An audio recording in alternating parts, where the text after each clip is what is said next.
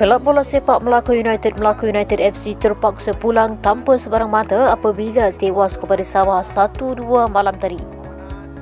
Dalam perlawanan yang berlangsung di Stadium Likas, kedua-dua pasukan dilihat saling menggasak untuk mencari gol pertama perlawanan. Biarpun dalam keadaan padang yang basah di Likas, namun tuan rumah nyata mengganas apabila satu demi satu percubaan dibuat pada minit awal permainan. Melaka bagaimanapun meledakkan gol pertama perlawanan apabila keadaan kucar kacir di bahagian pertahanan Sabah dimanfaatkan sebaiknya oleh Fedayo pada minit ke-23. Keputusan 1-0 kekal memihak Melaka pada separuh masa pertama.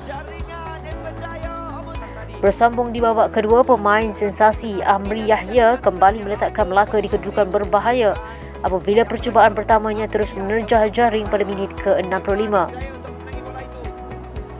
Ketika perlawanan disangka berakhir dengan keputusan seri, Amri Yahya sekali lagi tampil hero dengan menjaringkan gol kedua Sabah hasil hantaran Farhan Roslan pada waktu kecederaan. Keputusan 2-1 kekal memihak Sabah sehingga pengadil Nazmi Nasaruddin meniupkan wisil penamat.